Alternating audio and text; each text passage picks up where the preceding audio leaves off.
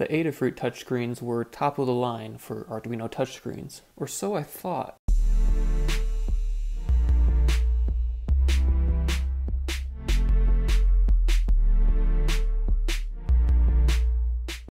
The touchscreen I have here is the 2.8 inch LCD with capacitive touch, and I have the breakout version from Adafruit. It runs about $40. They also offer this in a Shield version for about $45. What really drew me to this display is that it has a capacitive touchscreen. Now what that means is the screen is this nice smooth glass like the modern smartphones. Some of you may remember the older smartphones where you had to use your nail or a stylus to activate the touchscreen. Well, modern smartphones don't need that because they just detect the capacitance of your finger press and that's how this screen works. Now I love the capacitive touch of this screen. It feels great and it responds well, but this thing is a pain in the butt to code. Here's the code for the project I just had loaded on the screen. And as you can see, it is about a thousand lines of code. Now all this project really does is get the temperatures of six different thermistors and that is all of the code for it right there. So why is it a thousand lines? Well, the majority of the code is to make the touchscreen display the interface that you want it to display. Additionally, there's no centering function, there's no preview button or anything like that that will give you any determination of what your interface will look like before you upload it so all these values here you have to pretty much find by trial and error. And I thought this is just how Arduinos were with touchscreens and just displays in general. If I wanted a better interface, I would just buy a Raspberry Pi. That was until I found the Nextion screens and the Nextion editor. Instead of coding the touchscreen line by line, you were able to use this program here to create your interface so you know exactly what it's going to look like way before you upload it to the device. They call this a what you see is what you get editor, and what that means is exactly what it sounds like. When you run the simulator, what you see and do on here is exactly what it's going to be like when you upload it to the screen.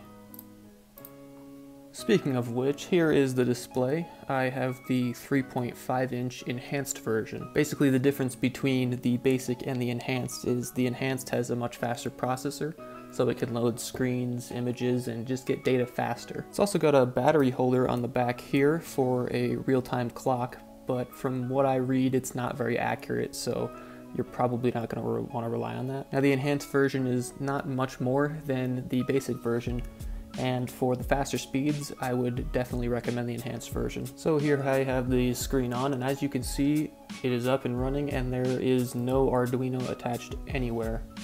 Everything you see here is being done completely by the screen itself and none of it requires the Arduino. So basically in the editor on the computer, you can export a .tft file to a micro SD card.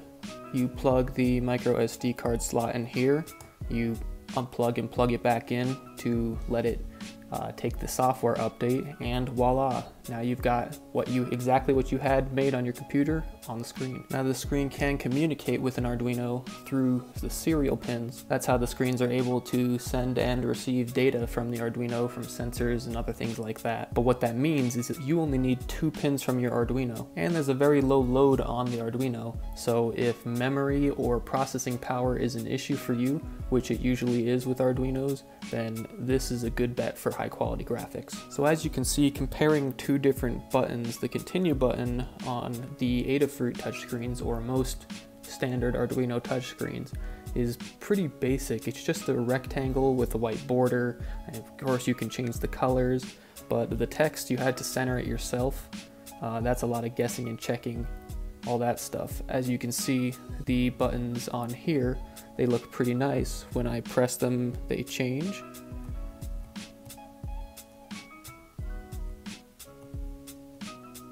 And they just look better in general. So what's the secret to making cool looking graphics? I've even got some radios here and if I tap them I can turn the radio on. And as you can see the screen lights up, the knobs turn when you turn them on and off.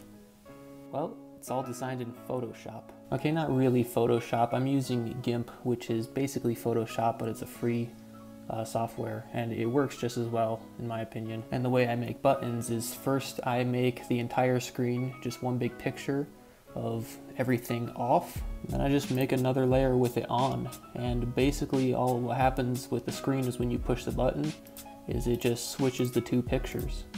Now the Adafruit touchscreens can draw BMP files, but they take a really long time and you can actually watch it go down line by line. That's how slow it is. As you can see when I touch this, barely any lag. You don't really notice it, it just looks like it's turning on and off.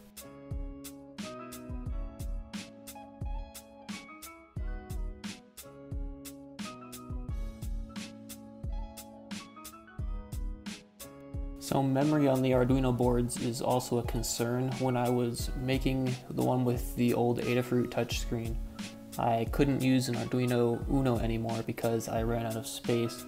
Uh, this sketch here uses 35,000 bytes, which is only 13% of the Mega, but it was so high on the storage of the Arduino Uno that it was causing stability issues. So I updated it to the Nextion display and now it only uses 22,000 bytes, which is 72% of an Arduino Nano, but now I can use an Arduino Nano. Now the Arduino Nanos are much smaller and cheaper.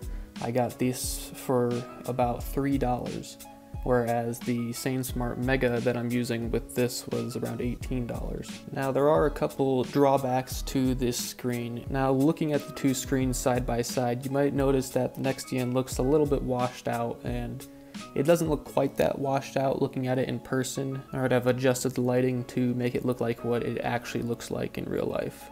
Another thing you'll note about the Nextions is they are very dependent on the angle that you look at them from. If you look at them from a high angle like this, they look pretty bad and then they get more accurate to the color as you go down this way. Whereas the Adafruit screen, it looks exactly the same no matter what angle you're looking at it from. So basically what I've done is I've recreated the, this project with the Nextion. Now this one took me about two months to build, but I was able to learn from scratch how to use these Nextions within about two days. And that's because the majority of the stuff you do with the Nextion I have made in GIMP. And it's just switching pictures quickly is really all it's doing. So I'll walk you through all the screens on both these projects. But before I do, I'll let you know that these sensors are not hooked up, so they're gonna read wacky values. It's just to see the different uh, graphics that you get with each screen. So I'll go ahead and press continue on here. And I did add a green effects. Oops, I accidentally did it twice. But as you can see, everything is rectangular. The text is pretty blocky. The buttons work, yes. Not super fancy. And if I do the same with the Nextion, I was able to get some rounded buttons here. Again, made those in the photo editor works the same way. Now here's the main screen where it reads all the temperatures. Uh, as you can see, it's doing some wacky values because none of the sensors are connected. So the numbers change colors based on what temperature they are. And they both do export this data through USB to PLXDAQ, which is a macro for Excel and it allows you to do live graphing, which I think is pretty cool. But you can see the different settings buttons. This is some standard rectangular button, whereas I was able to use a picture of a gear for the settings button on here. And when I press it, it turns gray, release it, and it changes. This one, just a standard, it turns green first and then loads the next page. So I think this menu screen really shows the difference in what it's able to do. Everything here is just a flat color. Everything's rectangular. There's a slider for brightness. Changes the brightness of it. It's very basic, but on the Nextion screen, you're allowed to use pictures. So everything looks very nice. Slider also works. Hard to see it changing brightness on camera, but it is changing brightness. Toggle buttons go back and forth different buttons to load the menus.